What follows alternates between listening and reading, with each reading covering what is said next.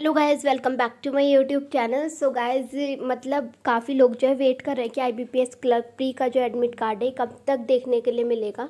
क्योंकि ऑलरेडी काफ़ी टाइम हो गया है और बाकी आपका R R B P O मतलब ये सब एग्ज़ाम भी हो गए हैं प्री के। सब I B P S clerk का एडमिट कार्ड कब देखने के लिए मिलेगा?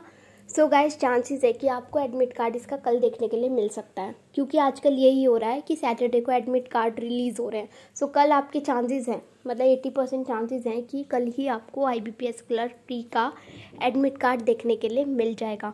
बाकी आपकी रीजनिंग और क्वांट की प्रिपरेशन तो हो ही गई होगी है ना? R R B P O का जो एग्ज़ाम दिया है। सो so, आप इंग्लिश पर ज़्यादा फोकस कीजिएगा I B P S clerk में। क्योंकि इसकी इंग्लिश में पता नहीं लगता ये कब कैसे मार्क्स डिडक्ट कर देते हैं। आपने देखा भी होगा आईबीपीएस के केस में होता ही है ये मतलब क्लर्क और आईबीपीएस पीओ नॉर्मलाइजेशन अलग ही लेवल का होता है। सो so गाइज़ इस पर मतलब आपकी मिस्टेक्स जो भी हो रही हैं, उन्हें इम्प्रूव करने की कोशिश कीजिए, क्योंकि इसके अंदर जो नॉर्मलाइजेशन होता है, काफ़ी अच्छा होता है आईबीपीएस क्लर्क के केस में, ठीक है? अगर हम प्रीवियस ईयर की बात करें तो रिज़ल्ट काफ़ी सही दिया था इन्होंने। मतलब काफ़ी अच्छे मार्क्स आए थे। सो so, इंग्लिश की बदौलत आपके काफ़ी अच्छे मार्क्स बन सकते हैं।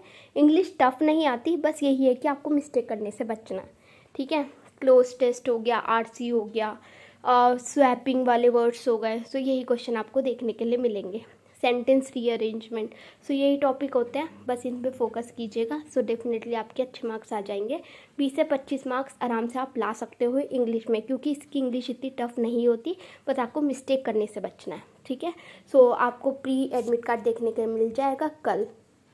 कल ही सबसे ज़्यादा चांसेस लग रहे हैं आईबीपीएस क्लर्क के प्री एडमिट कार्ड के, ठीक है? सो गाइज़ जो भी एग्ज़ाम देने वाले हैं सो ज़रूर कमेंट बॉक्स में बताइएगा आपकी प्रिपरेशन कैसी चल रही है। बाकी ऑल द बेस्ट मिलते हैं नेक्स्ट वीडियो में। Till then take care bye bye